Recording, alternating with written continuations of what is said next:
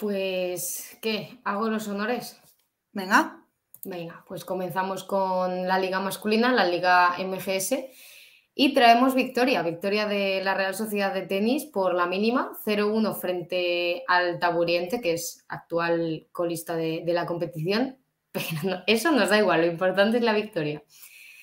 Y la verdad que, bueno, partido mm, que el 0-0 estuvo marcado durante prácticamente todo el encuentro, porque la verdad que el gol se, hizo, se hizo esperar y no llegó hasta el último periodo. Y llegó del stick de, Nico Álvarez, así que nada, victoria muy, muy merecida porque hicieron un, gran partido. Que es, es que te veo la cara y sé que estás leyendo algo. Es que, ¿qué dicen? Hombre, el, equipo, de Willy Bárcenas. Tauriente, Taurete, a casa de Dron. bueno, en fin. Ya, Real Sociedad de Tenis no era hockey, confundís a vuestro público LGBT. bueno, a mí también me pasó y, no pertenezco al colectivo, ¿eh? Ya, la verdad que se podría. Real Sociedad de Tenis, hockey, pero todo el mundo lo conoce como Real Sociedad de Tenis les gusta liar a la gente. No juegan al tenis, juegan al hockey, pero es así. Pues sí.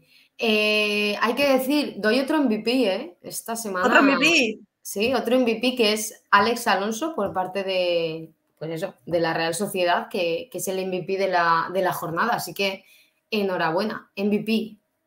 Eso es. Y bueno, próximo partido que será más complicado que este, en principio, teniendo en cuenta solo las matemáticas porque es contra el Terrassa, segundo, segundo clasificado. Así que. Complicado, complicado, pero no imposible. Suerte. Eso es. Y luego el, otro partido de, de, aquí de Cantabria, pues el Sardinero Hockey contra el club eh, de, campo. Es que estaba leyendo la, la, femenina. Bueno, en fin. Hoy estoy que no estoy. Dura derrota para los santanderinos ante el líder de la competición. Claro, muy complicada. Primer periodo, empate a cero, que daba tregua a los nuestros, pero bueno, pues un segundo periodo con tres goles en contra, remató a los azulones. Intentaron achicar agua del Prado, pero no hubo manera, así que el resultado final acabó siendo de 0 a 5. el siguiente partido también será complicado, juegan contra el Barcelona, pero bueno, a ver, es el séptimo de la clasificación, que dices, bueno, a ver, tampoco es para tanto, pero claro, no deja de ser el Barcelona. Es que hay unas diferencias abismales. Claro, pero bueno, eh, lo, que quería decir, que aunque juegan contra el Barcelona, puede ser el típico partido sorpresa y acabar de llevarse la victoria. Así que bueno, pues ya se verá. Pues sí. Y esto deja la clasificación, pues tal y como la dejamos la semana pasada. Qué raro. Real Sociedad, Real Sociedad de Tenis, novena. Sardinero Hockey, eh, onceava, segundo por la cola. A ver si suman alguna alguna victoria, hombre. Pues sí, sí, porque hace falta. Y terminamos por hoy con nuestras chicas de la Liga Iberdrola. Eh, pues bueno. Empieza, eh, empieza, tú, empieza tú para acabar yo con un poco mejor sabor de boca. ¡Hala, vale! Eh, pues el club de campo va, a ser como, como los gallegos en, fútbol sala. ¿Qué es, qué es esto?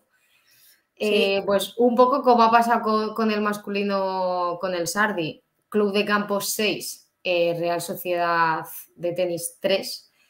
Pues hombre, dura, dura derrota de las verde y blancas en Madrid ante un todopoderoso. Y bueno, sí que es cierto, digo, oye, partido de muchos goles, partido vistoso de, los que mola ver. Entretenido para el público. Eh, sí que es cierto que el primer periodo comenzó con 1-0 a favor del club de campo. En el segundo periodo eh, sucedieron ya tres goles más, eh, dos por parte del club de campo que ponía el 2-0, pero sí que es cierto que las nuestras pusieron el, 2-1 que daba cierta esperanza. Pero bueno, un tercer periodo ya de 5-3 y en la recta final del partido ya las madrileñas eh, sellaron el partido con ese 6-3 final.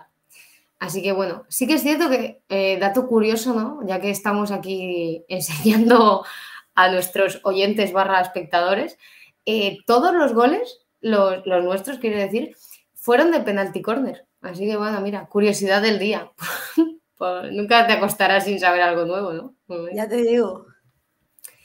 Y así nos queda la clasificación. ¡Echa el freno! ¡Ay! Que no has ¿Qué acabado tú. Pues porque he visto que yo era la última. Yo qué sé, tío. Madre mía. Bueno, ¿Tienes eh, vamos a intentar levantar un poco, un poco esto. Eh, No es una victoria, sino un empate. Pero bueno, buen partido de nuestras chicas, aunque con un poco mal sabor de boca, la verdad. Empezó ganando el Egara en el primer periodo y el marcador no se movió hasta el último cuarto. O sea, estuvieron tres periodos eh, por debajo en el marcador, nuestras chicas. Remontada de las santanderinas para ponerse 2 a 1 y cuando todo parecía estar sentenciado, las visitantes convirtieron un penalti corner, esos penalti corners también te digo, a veces juegan a favor pero en contra eh, te fastidian muchísimo para ponerle igualada en el marcador, así que final 2 a 2. un poco. Bueno, Próximo partido contra el Sanse Complutense y la verdad que esperamos un auténtico partidazo porque es noveno contra décimo. a ver si hay un poco de directo. Eso es, así que a tope. Y ahora sí, la clasificación con... eh, se quedan igual, ¿no?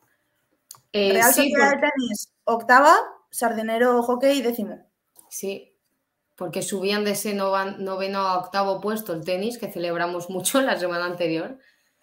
Pero sí, sí.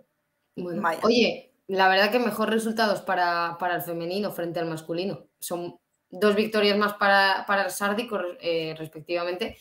Y el Sardi yo creo que también suma una más respecto al, al- Ay, el Sardi, madre mía. El tenis yo creo que suma una más también respecto al masculino.